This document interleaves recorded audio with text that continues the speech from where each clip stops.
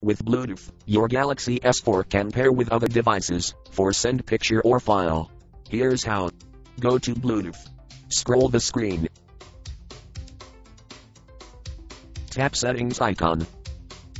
On connection tap Bluetooth. Slide the Bluetooth switch to the right.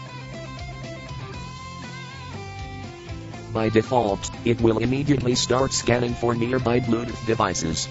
If not, you can initiate the scanning by tapping scan at the bottom of the screen.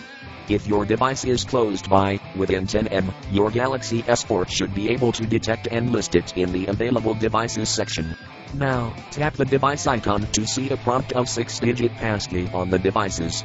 Make sure both numbers appear to be the same.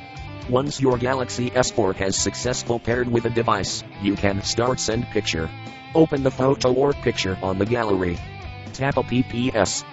Tap gallery. Open picture you want to send. Tap share icon.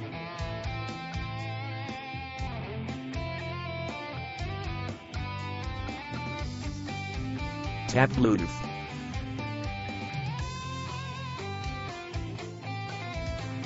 Tap the destination device. Scroll screen to see sending picture status.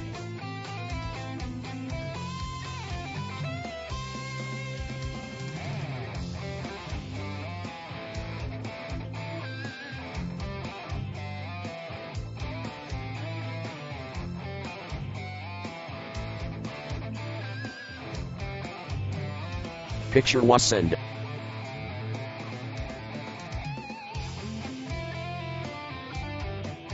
Thank you for watching.